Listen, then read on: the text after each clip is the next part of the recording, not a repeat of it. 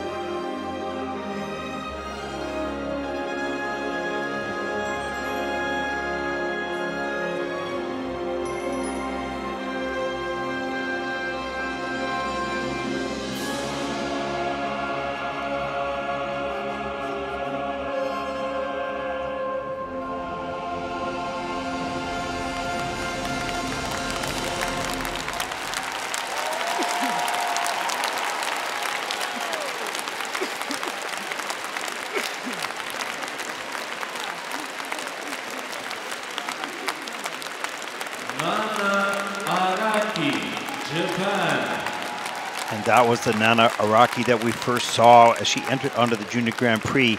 Really determined, fast, a high jumper, clean, solid edges. She's had her challenges over the last couple years, just making the odd mistake here and there, but not tonight.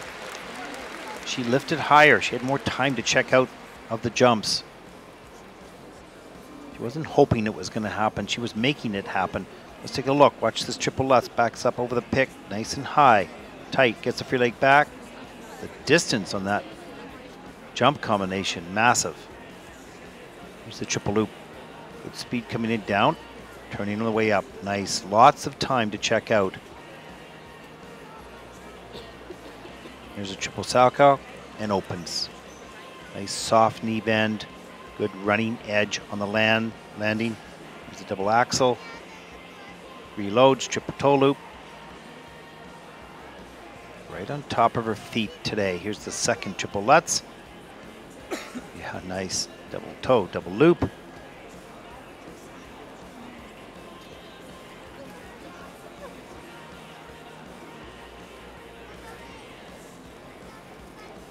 And you could see the smile after the last passing jump went, or jump pass went. And then she really performed her step sequence. Lost her balance here a little bit, just hanging on. A great job by Nana Araki of Japan. Should see a good score here. She's a long ways away from the podium. She's 59.05 fifth after the short. It's about a personal best. 122.75. That's first in the free program. That's the season's best. With a total competition score of 181.80. Pretty good score.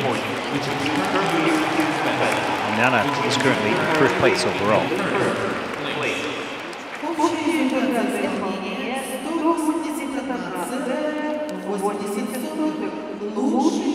граждан Германа. И на данный момент